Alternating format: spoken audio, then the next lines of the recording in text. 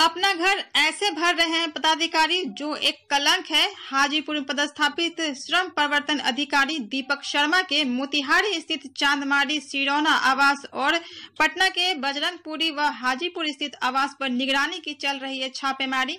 राजधानी पटना के बजरंगपुरी आवास पर निगरानी विभाग ने छापेमारी की। निगरानी विभाग के डीएसपी ने बताया कि श्रम प्रवर्तन पदाधिकारी के विरुद्ध एक करोड़ साठ लाख नगद बरामद के नाजायज रुपया कमाया गया है। ऐसे पदाधिकारी के खिलाफ प्राथमिकी दर्ज की गई थी।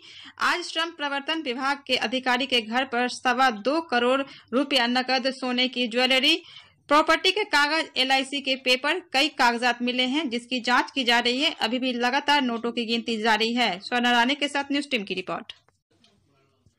भ्रष्टाचार के बल पर अखुद संपत्ति अर्जित करने वाले भ्रष्ट अफसरों के खिलाफ विभिन्न एजेंसियों की कार्रवाई लगातार जारी है। आर्थिक अपराध इकाई हो स्पेशल विजिलेंस हो या फिर विजिलेंस आज एक बार फिर से विजिलेंस की टीम ने बड़ी कार्रवाई की है।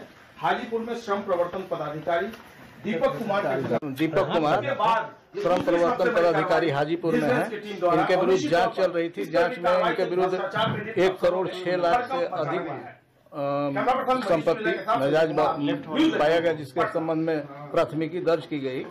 और उसके बाद आज सर्च का अभियान चलाया जा रहा है। उसमें करीब लगभग सवा दो करोड़ रुपया नगद ज्वेलरी पासबुक डीड बहुत सारे चीज़ बरामद हुए हैं जिसका अभी हम लोग काउंटिंग कर रहे हैं